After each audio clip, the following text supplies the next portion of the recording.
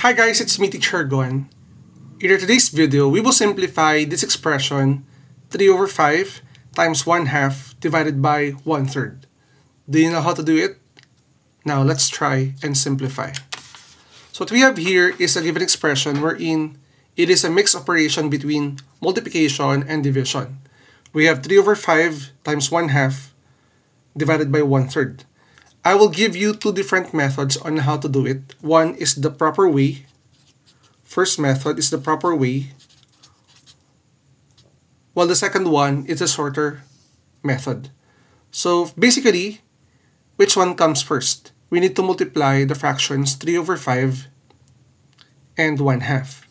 So we will multiply 3 times 1, that is 3.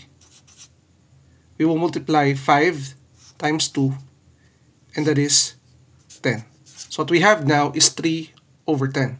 And again, if you're new in multiplying fractions, all you need to do is to multiply the numerators and multiply also the denominators. After multiplying these two fractions, we will divide it by one third. So how do we divide fractions? First, we will copy. This is 3 over 10 and in dividing fractions, it will lead you to multiplication. So we will change this operation from division to multiplication. Then after that, we will get the reciprocal of the divisor or the one-third, which is 3 over 1.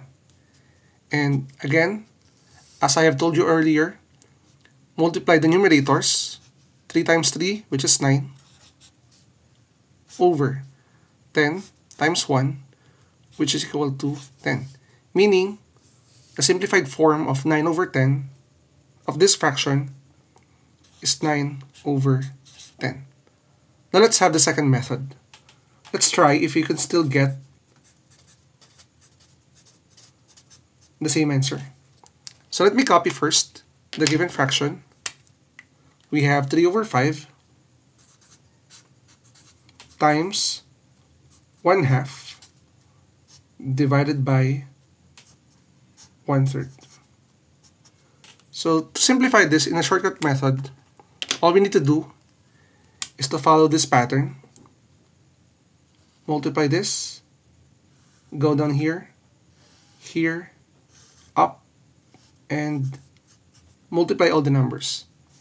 3 times 1 times 3 is equal to 9. This one,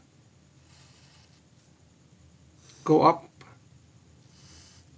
go down, multiply all the numbers, 5 times 2 times 1, that is equal to 10. As you can see, we have the same answer using different methods. Now, as part of our routine here in our videos, I will let you to answer this kind of problem I will try to give you this problem 2 thirds times 2 over 5 divided by 1 half. I hope makita ko sa ating comment section what is your answer in this problem. So guys, if you're new to my channel, don't forget to like and subscribe at i-hit mo na rin yung bell button for you to be updated sa ating latest uploads. Again, it's me, Teacher Gon. Maraming maraming salamat. Bye-bye!